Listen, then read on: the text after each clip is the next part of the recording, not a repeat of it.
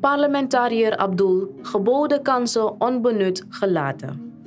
De beëindiging van het productieproces en de afbouw daarvan is al 20 jaar terug begonnen met het sluiten van de aluminiumsmelterij en het ontslaan van bijkans 300 arbeiders.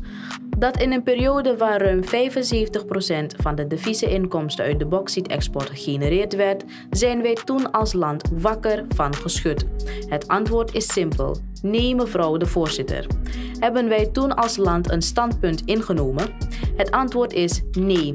Dit stelde Amzad Abdul, fractievoorzitter van de Nationale Democratische Partij, in de openbare vergadering van het parlement op vrijdag 23 augustus 2019.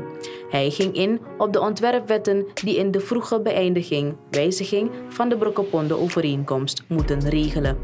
Het vervolg van dit bericht kunt u lezen op www.deboodschap.today. Today. www.deboodschap.today.